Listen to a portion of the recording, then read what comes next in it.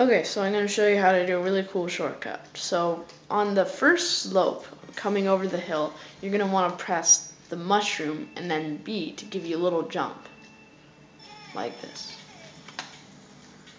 And if you get it perfectly, then you'll go straight forward.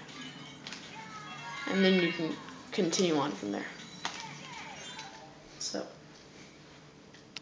this does take a lot of practice, so just take a lot of time working on it and you'll be able to do it really easily.